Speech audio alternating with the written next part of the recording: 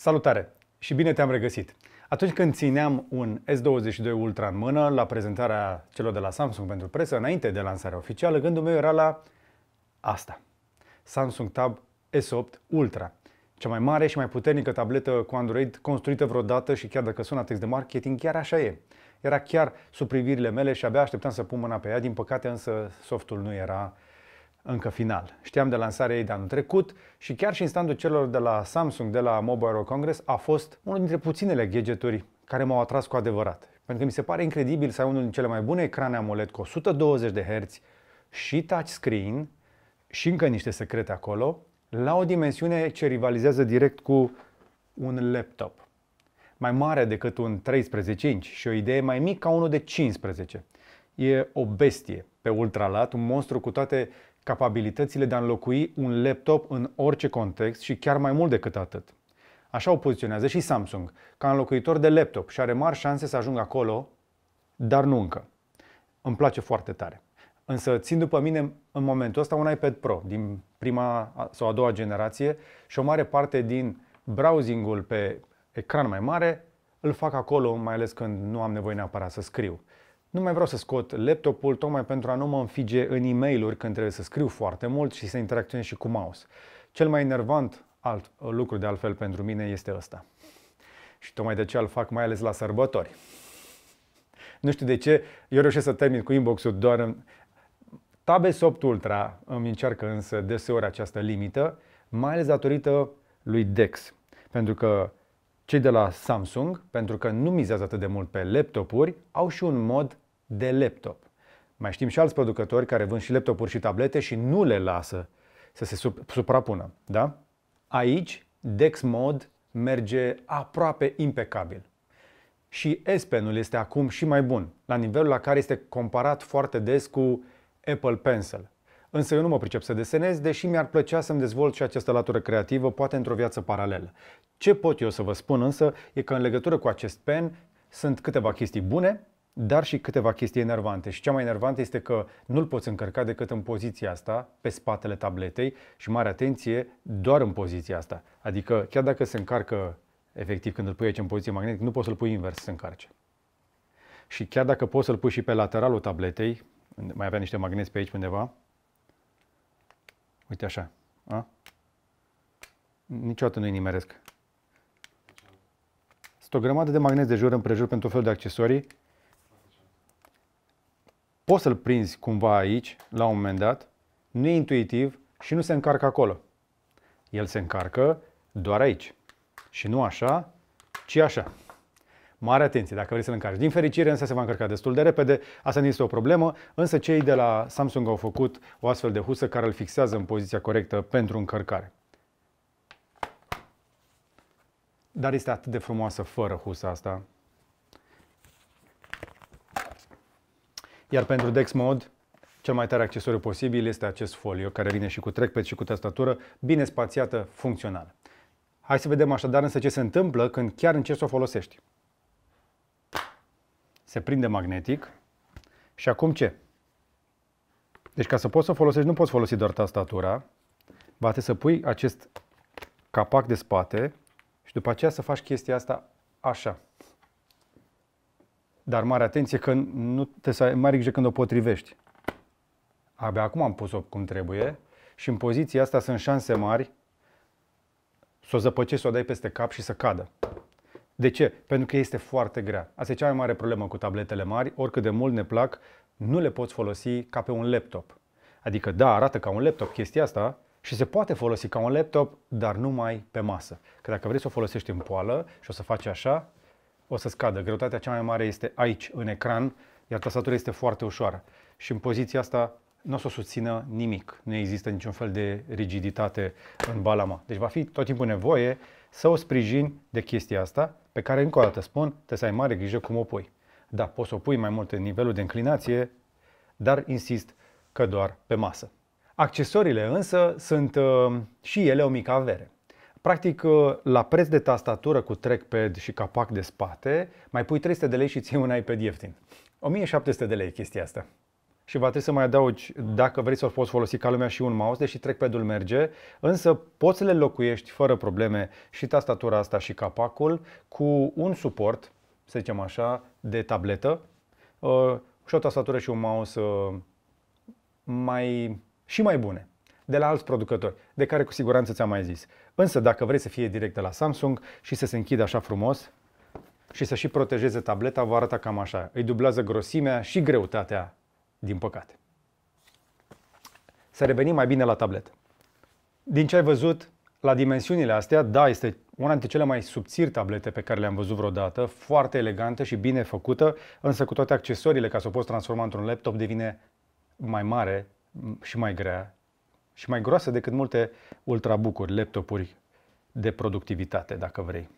Însă, ca să revenim la punctele forte ale tabletei, trebuie să mă întorc la pen și la ecranul acesta care spuneam că are un secret. Și ca să vă vorbesc despre acel secret, îmi place să aduc lângă mine oameni mai pricepuți, așa cum este Mihai. Am deschis cutia Pandorei. Atunci când am zis că vrem să lucrăm cu mai mulți artiști, ne-a scris uh, și Mihai. Salut! Salut, Mihai, bine venit! Mihai Nistor și zice așa. Vă scriu de ceva vreme. WhatsApp, Facebook, Instagram, sunt artist plastic ilustrator, de cele mai multe ori fac caricaturi, caricaturi digitale. Astăzi însă mă interesează să-mi spui, după ce te-ai jucat în ultimele două ore aproape, Da. cu uh, Tab S8 Ultra, așa din, uh, direct așa din goana calului, dacă merită. Tab S8 o merită. Adică, uite, chestia asta n-are lag. Mhm. Dar penul nu-ți dai seama. E foarte bine făcut, dar e foarte bine făcut și la un Note 10, Note 20. Ok, deci nu, Nu e, se- ma- nu nu e se mare simte diferență la pen. diferența, Nu. În folosința asta, dacă îl folosesc spre altceva, poate. De exemplu, dacă faci, dai cu aerograful ăsta și pui o mărime foarte mare, Da? însemnând asta, stai, să fac un layer nou, asta. Mhm. De obicei, după 2-3 ore de folosință, are la chestia asta. Adică îl vezi că rămâne în urmă. La ăsta încă n-are. Vreau să știu cum se simte mâna cuiva care este în stare să o pună la muncă cu adevărat pentru așa ceva. Pe softul ăsta, uite că am uitat să opresc uh, timelapse-ul, se simte foarte bine. Nu știu softul e original, pe ea, cum merge. Pă, din câte am înțeles, ei le fac update-uri de la Da. unul la altul, la softul Da, tu pe ce te-ai original. jucat? Pe Sketchbook. Sketchbook e excelent. Are timelapse, are o grămadă de ustensile de desenat, Ok. adică nu te plictisești. Asta e o linie normală, Mhm. dar chiar se simte când apeși. Deci dacă tragi foarte încet, tu tragi așa, dacă o îngroși, se simte. Asta mi-a plăcut foarte mult. Dacă Te, ești... te-ai mai jucat și pe telefon, te-ai mai jucat și pe tablete de la Da, mai mulți da, producători da. și curiozitatea mea asta este, că dacă zici că asta, în momentul ăsta, bate un Wacom, Nu-l bate. nu-l bate. Nu-l bate. Ok.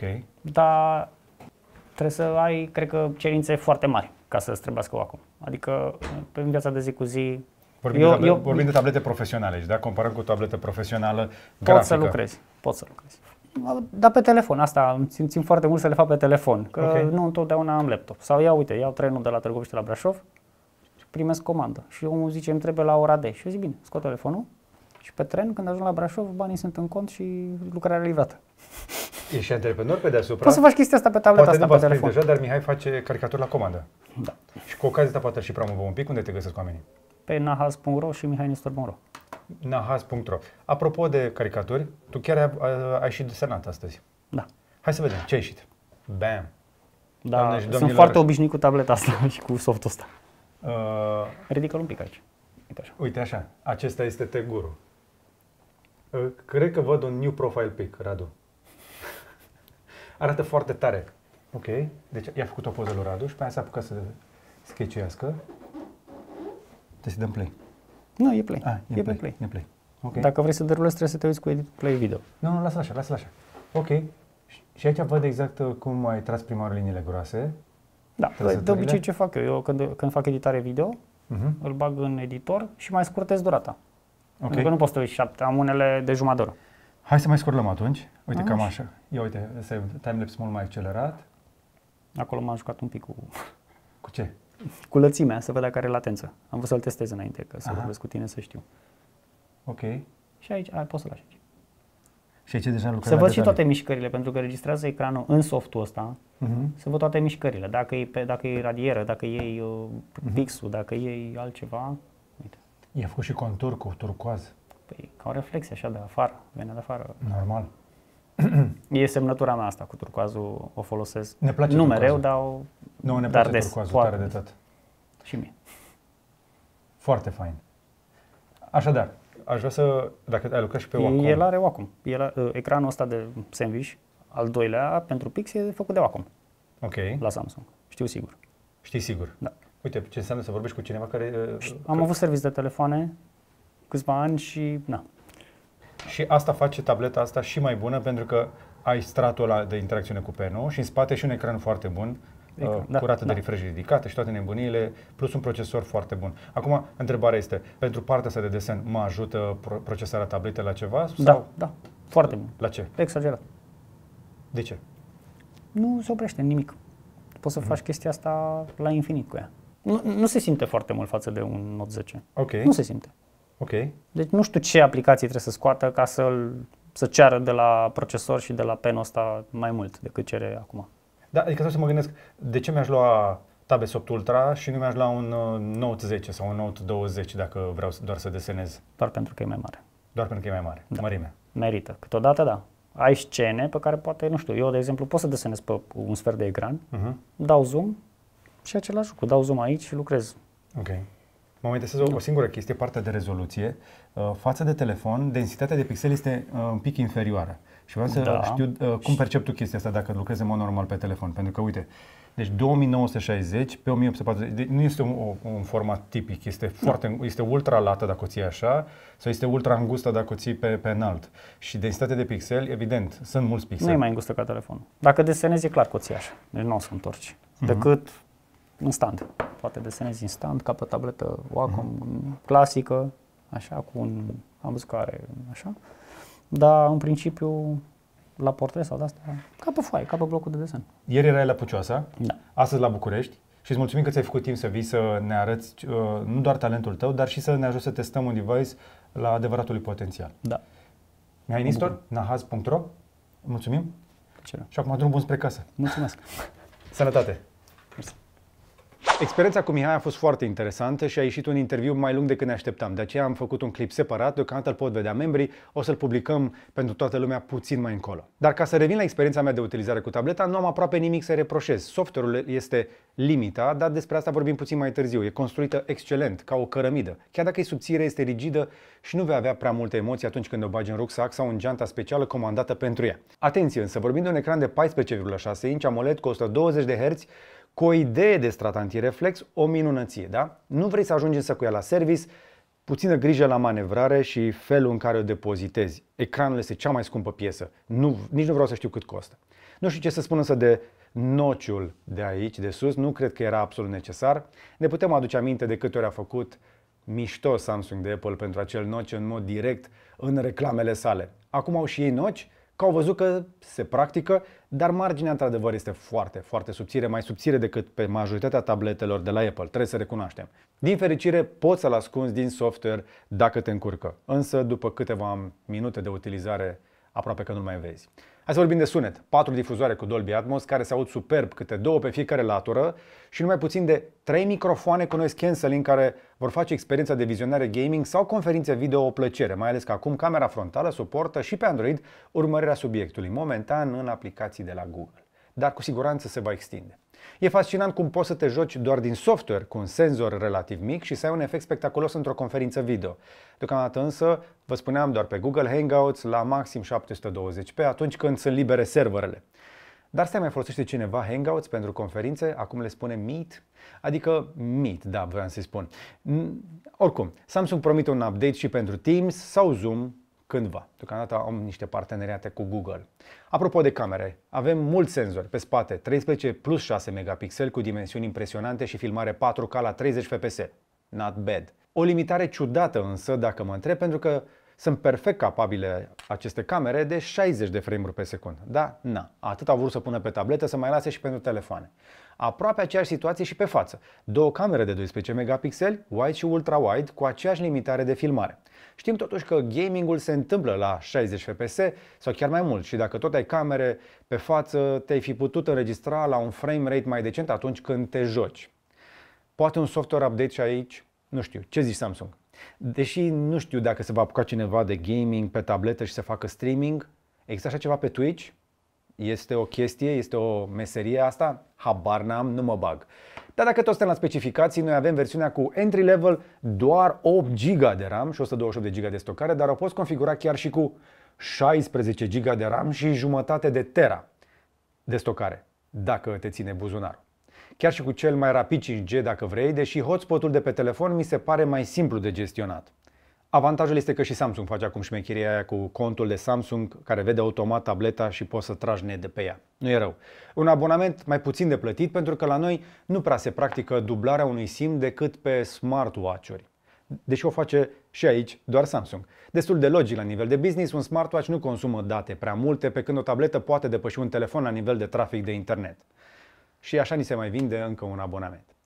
Chiar și așa microSD-ul rămâne sfânt și poți pune chiar și un terabyte pe tabletă ca stocare secundară, numai bun pentru toată colecția de filme de pe Netflix, Amazon Prime și chiar HBO Max, acum că l-avem și la noi. Adică mă refer la faptul că vrei să le descarci pe tabletă atunci când vei avea un zbor foarte lung sau vei merge într-o croazieră și vrei să descarci toate sezoane. Exagerez, desigur, nu știu de ce avea nevoie de atât de multă stocare. Din experiența mea, pe tablete, prea puțin contează stocarea multă. Hai să vorbim totuși de uh, dimensiuni. E mai subțire ca un telefon. 5,5 mm grosime, spectaculos ce poți obține cu materialele potrivite. Și asta se resimte totuși la răcire. Nu prea e loc să pui un sistem de răcire la fel de performant ca pe un telefon cu același tip de procesor, cum este S22 Ultra, de exemplu. Chiar și așa se va mișca extraordinar cu tot cu limitarea forțată a procesorului Snapdragon 8 Gen 1 făcută de Samsung. Da, acel game mode limitează frecvența procesorului în mod automat ca să nu se încălzească și lucrul ăsta este vizibil poate în jocuri pentru cei mai experimentați. Samsung a promis un update care să anuleze aceste limitări. Bun, frumos, ce să spun. Sperăm să nu se mai întâmple, dar trebuie să recunoaștem. 5,5 mm nu poți să faci răcirea ideal într-o carcasă atât de subțire. Modul DeX este cel pe care o să-l folosești poate cel mai des dacă vrei productivitate, mai ales că se descurcă excelent cu două sau mai multe ferestre side by side. E chiar un ecran pe care poți avea deschise două programe diferite ca pe un laptop.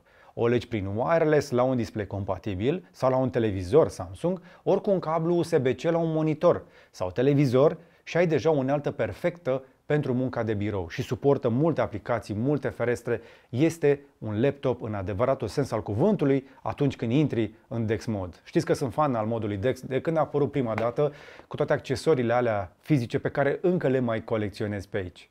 Îmi place tableta și o recomand oricui este pregătit să plătească un preț astronomic pentru o tabletă cu Android. Dar este cea mai tabletă cu Android.